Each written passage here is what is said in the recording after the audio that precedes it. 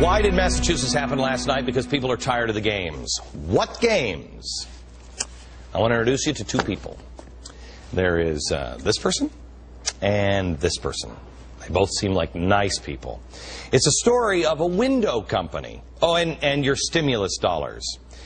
Apparently, they've been spending your dollars building up a window company that this man works for. Apparently, if you listen to all the officials, these are the most amazing, efficient windows ever, ever made. But I want you to remember this story. Remember this lady and this guy works at the window company. Oh, and remember your stimulus dollars.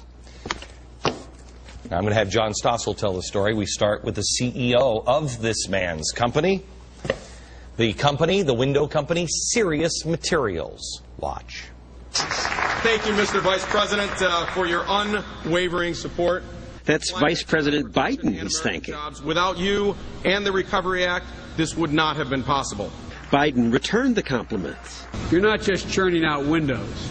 You're making some of the most energy efficient windows in the world. I would argue the most energy efficient windows in the world. Other window makers say, no, our windows are just as energy efficient. But the vice president hasn't visited their companies or even mentioned their names. And why am I talking about the vice president? I'm here today representing Serious Materials. How many company officials get to make introductions like this? It is my distinct honor to introduce the President of the United States, President Barack Obama.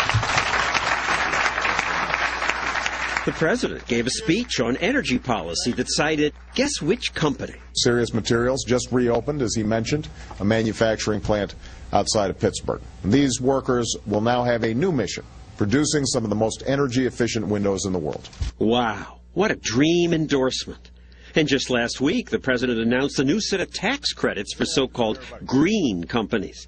The only window company on the list? Serious Materials. This is a story of how a new economy, predicated on innovation and efficiency, is not only helping us today, but in inspiring a better tomorrow. Actually, I think it's a story about crony capitalism.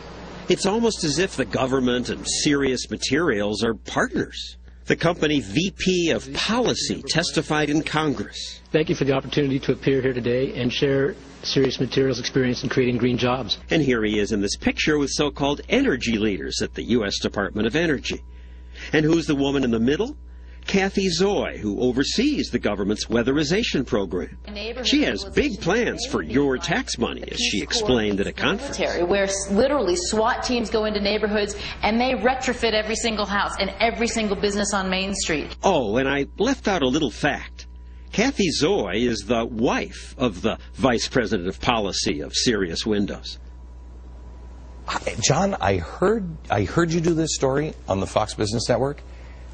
My head about expl- My head America. They're married. That's incredible. How does this happen? That's the cronyism that big government creates. You know, also his company executives gave big bucks to the Obama campaign. Okay, but this is the woman who's saying we've got to weatherize every house. We've got to go in with SWAT teams and weatherize all the houses. And by the way, my husband's company would be perfect to outfit all of these people with. But she's disclosed it on her form, so presumably it's legal. Uh, okay, I'm an alcoholic. When I go when I go to um, uh, someplace, a cocktail party or something, I always ask for a water bottle. I never stand with a glass of ice. Why? It, because just the just the look of me having something in my hand makes people talk. You don't do it just on the look. Is anybody? Have you gotten a call from? Uh, how about how about this guy's company? Have they called?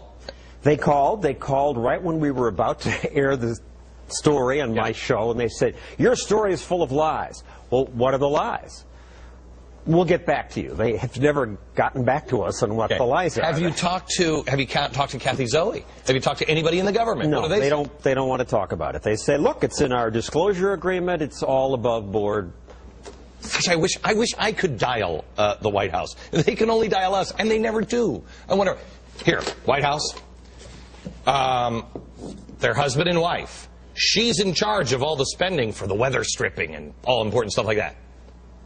Is this is this story? Do we have it wrong? Does John help us clear this up? Is, Are they, let me ask you this. Are these the most amazing windows ever made? Well, they claim there are, but we got a call from a competitor of theirs. We're a half hour away. Our windows are even better. We've won this award and that award. We can't get any attention from the administration. Much- Not that they should. How much money? No. Stop having the government pick and choose winners. If this company makes the best windows, people will figure that out. But also, their best window costs two thousand bucks. You don't need that expensive a window Well, for do if you're- weatherization. You do if you're having SWAT teams put them in. But most of the weatherization money goes for much All right, so John, windows. what needs to happen for this kind of stuff to end? What needs to happen is we need to go back to this. This is what built America the Declaration of Independence and the Constitution. Together, it's this thin. We don't need zillion dollar weatherization programs. When electricity rates and oil go up, people will buy better windows on their own. They don't need Cathy Zoi having billions of dollars at her disposal that she can decide maybe it should go to this company or that company. You shouldn't be allowed. Is she a part of the? She's the head of the weather thing, right? Right. The weather stripping thing. Right. Was she part of this decision? We don't know. And the company says, hey, she wasn't even confirmed until after Obama spoke at our uh, about our Was it company like and Biden days? came to the company. But she'd been nominated at that time, and she was already part of the club. She just hadn't be hadn't been confirmed. All right, John. Great show on the Fox Business Network. Thank you. Uh,